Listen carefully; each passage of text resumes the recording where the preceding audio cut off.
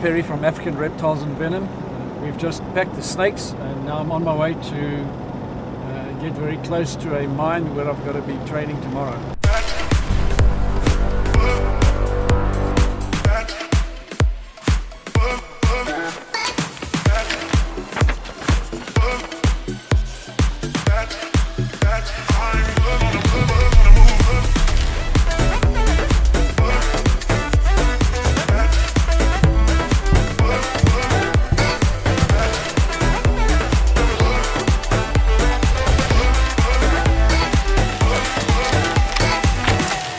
I'm at a mining site. Uh, mines are big clients of mine. They have the ability to find snakes. That's because they are exploring in the bush. When they do that, they disturb the snakes, and soon snakes appear. Then it becomes a health and safety issue for the mine, uh, and then they bring me in to do the training. So I've been doing training with mines for many, many years now. I've trained probably more than 25,000 people how to catch snakes, etc. And uh, this is just another day in another mine.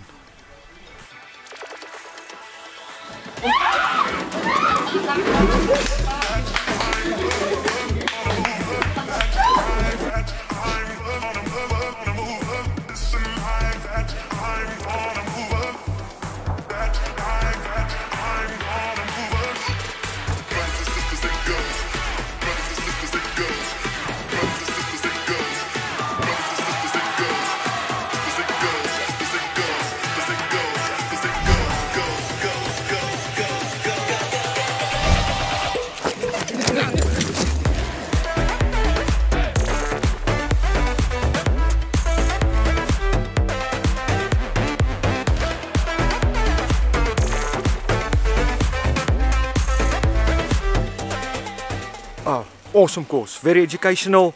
Learned lots, a lot about snakes, and I feel more at ease about snakes. Thanks, Mike, for an awesome course. Well done.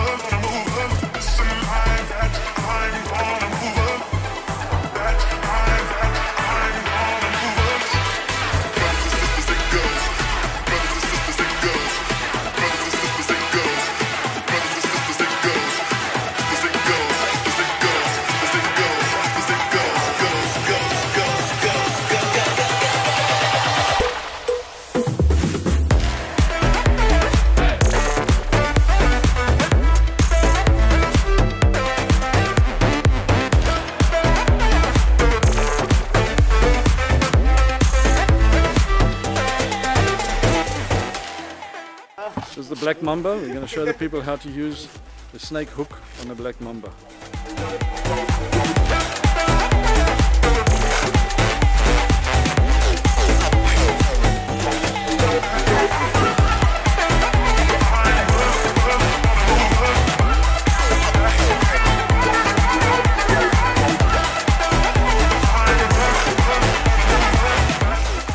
Best thing I've learned today is how to catch a black mamba. It was my first experience with the black mamba, and I could feel it's very massive, strong. It acts quickly. You need to concentrate when you catch it and make sure that you grab it firmly so that you don't do mistake. Uh, my favorite snake was uh, the black mamba. It was very nice to try to catch it. Learned a lot of things from him. I really appreciate for him for coming here to teach us how, how to catch snakes. It's very highly appreciated. how to catch it and to know the difference between the snakes 170 different species of the snakes and six most dangerous snakes. So you have supposed to be careful always when you handle the snake.